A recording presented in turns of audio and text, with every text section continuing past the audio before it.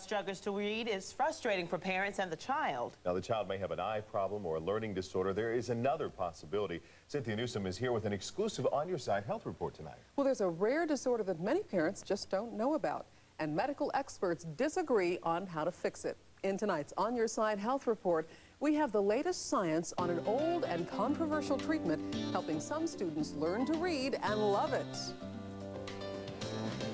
Um, every night for an hour and 30 minutes. Sometimes I read for I read for the whole time. JP Holly has a passion for reading, something that used to be painful. It was kind of blurry and I couldn't really concentrate and I kept on skipping lines and words. And we had been told by his teachers that this kid probably has ADHD. You know, he probably will never read on grade level. He's not going to be able to learn. JP's mom had his eyes examined several times and there was nothing physically wrong. It was only after she did some research on the internet and discovered these color overlays you simply put on the book. So I put it on top of his homework and I said, let's try this. And he started reading. Now it wasn't fluent, it wasn't perfect, but he was reading. And I'm in tears, I can't hardly breathe.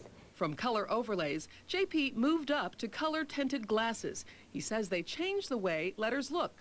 They mostly quit moving and that's mostly it. They just quit moving, they stayed in place and I didn't skip lines anymore. It's painful for some of these kids to look at the page. Dr. Jeffrey Lewine, a neuroscientist at KU Medical Center, shows us what children with Irlen scotopic sensitivity syndrome see when they try to read giant white spaces, blurry letters, and, like JP said, words that move. And, and you can imagine that if this is what your visual world looks like when you read, reading's not a fun thing for you. You don't want to do it. At first, Dr. Lewine laughed at the idea of fixing the syndrome with colored glasses. I thought it was the most ridiculous thing that, that I'd ever heard. So he set out to disprove the theory and ended up changing his mind we did a very simple experiment which looked at the way that the brain processes information. With brain imaging, Dr. Lewine concluded that the problem is in an area of the brain called V5. What's happening to these kids is they're looking at words on the page. V5 is turning on, so the brain interprets that as the words moving around.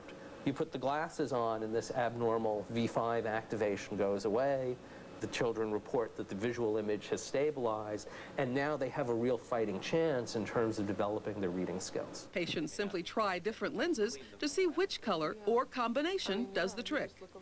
You will have no lack of water. JP's glasses may be shaded. His mom says JP's future is clearer and brighter because of them. Oh, and I still catch myself sometimes when I hear him read having to hold my breath because it's like, that's my kid. That's my kid. And JP is doing great, but his success does not sway some experts. Some ophthalmologists and optometrists I talk with insist that the new brain imaging study is not conclusive proof. Dr. Lewine admits we need more research to find out why, but Lewine says his science demonstrates the colored glasses do the trick. Now, this Wednesday, March 19th, families